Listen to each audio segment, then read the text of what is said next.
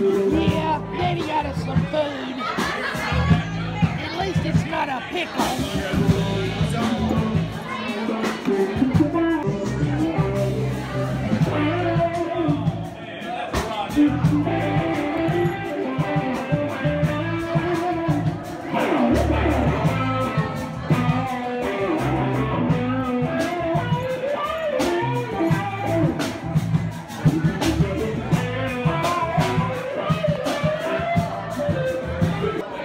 Yeah, Daddy brought us to Chef Point for a concert.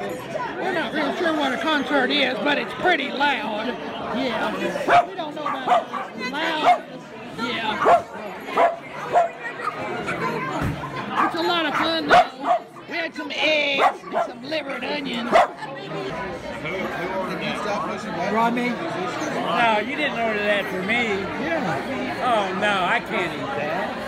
I'll drink it. You can eat it. and I'll drink it. Oh my God, look at that. Get a, get a to-go box.